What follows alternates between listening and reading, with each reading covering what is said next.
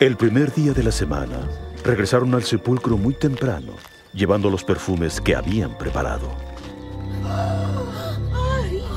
La piedra había sido removida y la tumba estaba abierta. Al entrar, vieron que el cuerpo de Jesús ya no estaba ahí.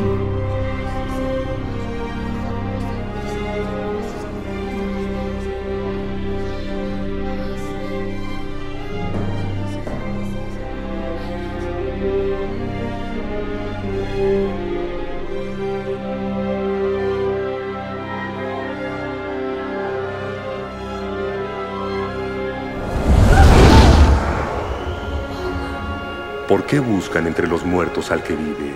No está aquí, ha resucitado. Recuerden lo que les dijo cuando todavía estaba en Galilea, que el Hijo del Hombre tenía que ser entregado en manos de los pecadores, que lo crucificarían y que al tercer día resucitaría.